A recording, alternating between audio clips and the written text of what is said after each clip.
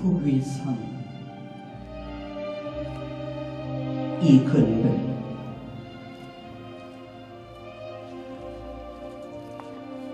서투른 병정은 가늠하고 있다. 검은 크레파스에 꽃밭에 지도에. 눈이 내리는 저녁 옥위에서 병정은 싸늘한 시간 위에 서 있다. 지금은 몇 도 성성인가. 그리고 무수히 탄호가 내리던 그 달빛의 고지는 몇 도 부근이던가.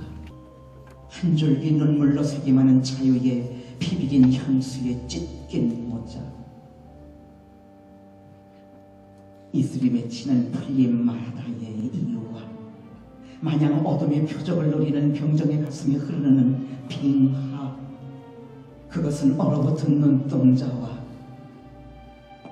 시방 날개를 잃는 벽이었던가. 한 마리의 후조가 울고 간 위로운 분계선 산딸에게 입술이 타던 그 그늘에 녹슨 탄피가 잠들어 있다. 서로 맞댄 산과 산길이 강과 강길이 역한 어둠에 돌아놓은 실제 빈 바람이 고요를 흔들어가는 상잔의 독분 밖에 눈이 내리고 어린 사슴의 묵쉰 울음이 메아리 쳐돌아간 꽃빛 누락에서 반쯤 생명이요.